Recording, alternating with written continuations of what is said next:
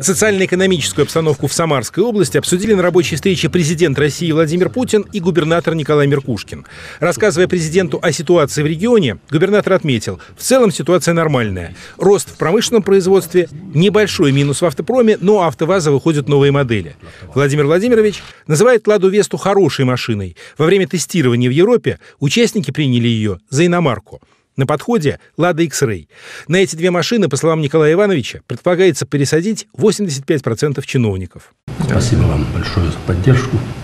Реакция хорошая по «Лада Вести». Ну и машина хорошая. Хорошая машина. Я вот да. не сказал, когда тестировали в Европе, Мгм, да. то те, кто Да. принял участие в тестах, не могли определить страну происхождения. Называли либо одну из европейских стран, либо Японию. На самом деле она современная машина. И вот 15 декабря пойдет э, Лада X-Ray. Тоже хорошая машина. Мы будем на эти две машины пересаживать процентов 85 чиновников. Здесь средний, даже выше чуть среднего и ниже слой. Э, Уже в городе, в Самаре мэр ездит.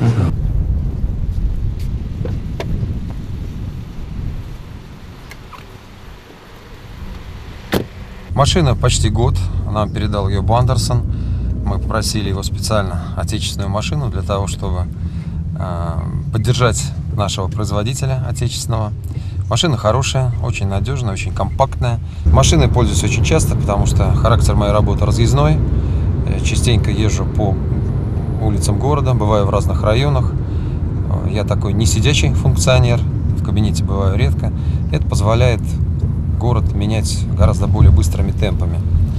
И э, вместе с губернатором мы определяем те точки развития Самары, которые необходимо достичь в ближайшие годы перед проведением чемпионата мира 2018 года. На встрече президент и губернатор Самарской области затронули тему агропромышленного комплекса. Глава региона сообщает президенту, что отрасль сельского хозяйства заканчивает год в плюсе, даже несмотря на то, что из-за сложных погодных условий область не добрала в урожайности зерновых. Еще один позитивный момент – рост объемов строительства жилья на 126%. Хорошо, потому что в целом мы знаем, ситуация в отрасли непростая, а у вас рост, я посмотрел здесь по, по таблицам. Да, За счет, 126 за счет чего у вас получилось? Хорошо пошла ипотека, пошла. Мы включились в программу федеральную э, доступную жилье российской семье.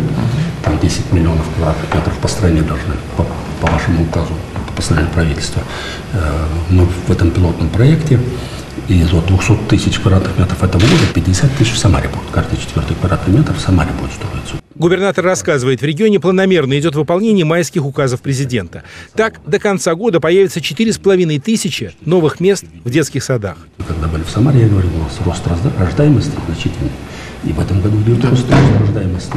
Сейчас уходящих с детских садов в школы на 3 тысячи меньше, чем приходящих, ну, родившихся больше. И нам еще и 16, 17, 18 год надо вот эти вновь дополнительно приходящих обеспечивать садиками. То есть на сегодня вроде закрываем, а Президент обращает внимание на еще один положительный сдвиг. В Самарской области сократилась задолженность по зарплате. Пожалуйста, этому внимание уделяйте постоянно, потому что здесь наблюдается некоторый рост по отдельным отраслям, по отдельным регионам. У вас, наоборот, сокращение, очень хорошие показатели, хороший признак, значит, внимание этому есть, нужно и, и дальше э, не ослаблять внимание к этим вопросам.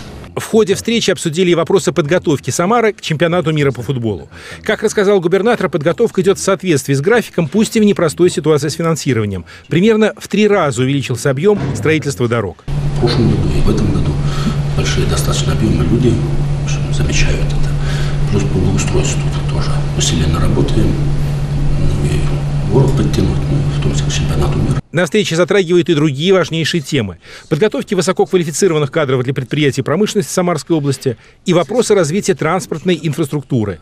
Президент поддерживает строительство многоуровневой развязки на трассе М5 в Тольятти. Она позволит увеличить пропускную способность магистрали. Одобряют на федеральном уровне и строительство Фрунзенского моста в Самаре, который должен быть возведен к 2018 году.